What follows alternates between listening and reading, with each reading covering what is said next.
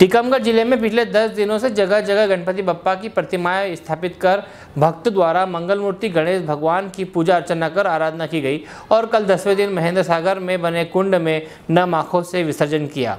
दसवें दिन लोगों ने हवन पूजन कर आराध्य भगवान श्री गणेश जी की मूर्ति को शहर के मुख्य मार्गों से गणपति बप्पा मौर्य के जयकारों के साथ आकर्षक झांकियाँ निकालकर महेंद्र सागर में बने कुंड में विसर्जन किया।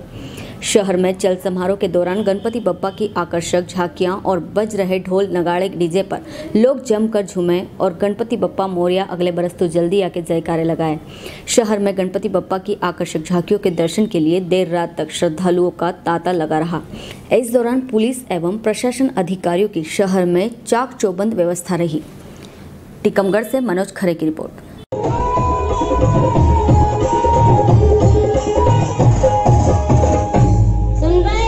रहे हाँ कहते सुनो तो हाँ